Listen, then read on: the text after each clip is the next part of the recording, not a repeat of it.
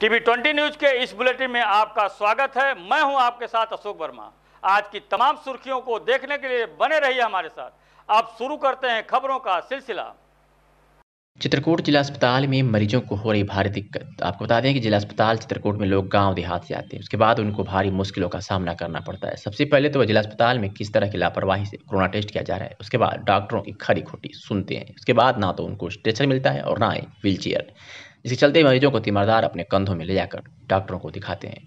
बात करें social distance की तो उसकी भी धज्जी उड़ाते नज़र आए। यहाँ जिला अस्पताल के लोग, आप देख सकते हैं, कोरोना टेस्ट में किस तरह लोग पास पास खड़े नज़र आ रहे हैं। उसी तरह तीमारदार भी नज़र आ रहे हैं तो एक भतीजा अपने चाचा को कंधे में ले जाता दिखाई दे रहा है, क्योंकि चाचा के पैर में चोट लगी है, इसलिए वह चल नहीं सकता, जिसके वह अपने भतीजे के कंधे में जाने के लिए मजबूर हुआ, क्योंकि अस्पताल की व्यवस्था धड़ाम है, ना तो वहाँ स्ट्रेचर है और ना ही व्हील चेयर मरीजों को उपलब्ध कराई जाती है जिसके चलते वहाँ मरीजों को भारी दिक्कतों का सामना करना पड़ रहा है। तो वही एक महिला दर्द से रोते हुए भी पैदल नज़र आ रही है। उसे भी ना व्हील चेयर मिली स्ट्रेचर दर्द के मारे रोती पैदल नज़र आई।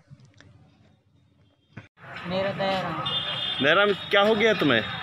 मुझे पैर में शरण हो गई तो यहाँ अस्पताल आए हो दिखाने तो यहाँ क्या व्हील चेयर नहीं मिली या स्ट्रेचर नहीं मिला? नहीं। मिला क्यों क्यों नहीं मिला? कहा तुमने? क्या बोले हैं अस्पताल वाले? अभी तो अस्पताल अंदर नहीं गए हैं। हैं। अभी बाहर। तो बाहर स्टेशनरी तो मिलता है? हाँ तो कहाँ से आए हो? क्या नाम है तुम्हारा?